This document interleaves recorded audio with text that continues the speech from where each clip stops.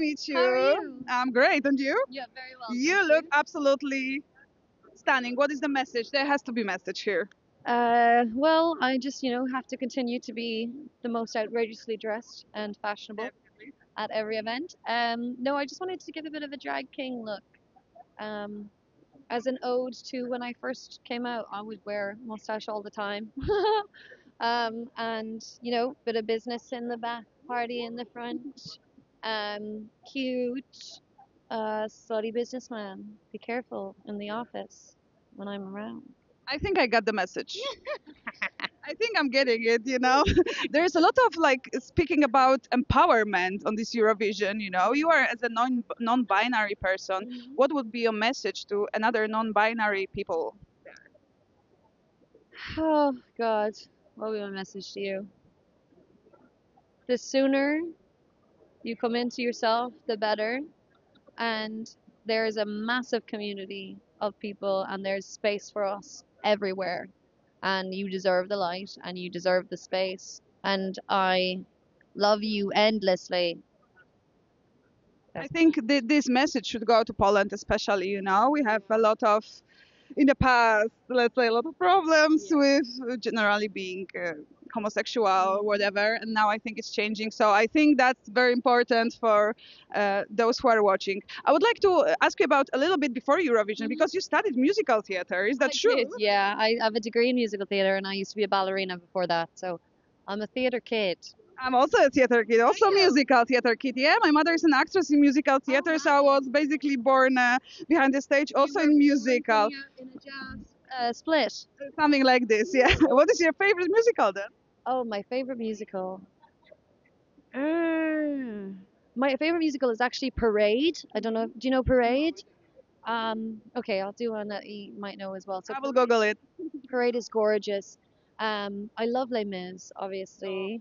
Um, a, a Man of No Importance is a, an Irish musical, um, really good.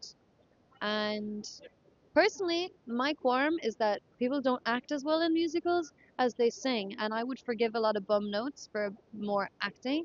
So I want to write a musical myself. oh, that would be very colorful musical, I think. or really, really just so haunting that everyone left there feeling really terrible. Yes, definitely.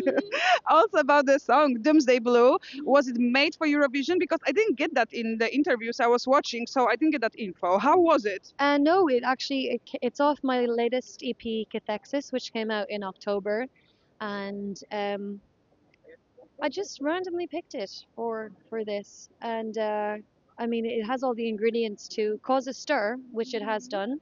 Um, whether you like it or you don't, you're not going to forget the song.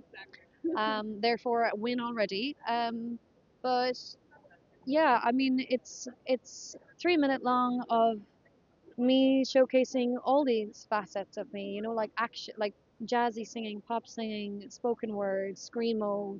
Um, I'm just a bit greedy and I want to show everything. I, like you only get to the Eurovision once, you know, if you don't come back again, but you only get to do it once. So I thought, let's make a showstopper. Let's let's make people be like, what? You know, but like at the same time, everybody hated Bohemian Rhapsody when it came out, and then it was on the radio all the time because what? It was ahead of its time. Not saying that this could be in the time if you just understand it a bit more. Um, I think it might be it actually. Yeah, I think there are two songs, actually Nemo and yours, they're really like unique. Yeah. You know, they consist of many, many genres. non-binaries go. yeah, exactly. That maybe that's uh, that's something Yeah. we should follow in the future. You know, like finding yourself more, and then finding yourself more in the music, like looking for uh, for more styles. Because I think Eurovision needs that.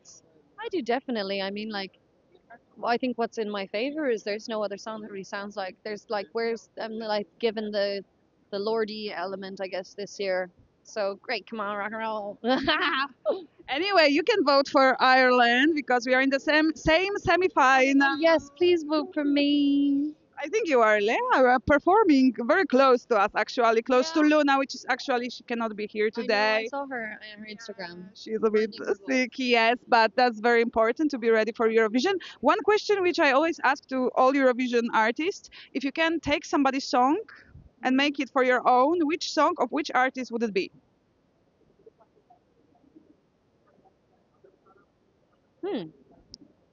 Uh, do you know what? I can't stop singing France's uh, chorus, so maybe that.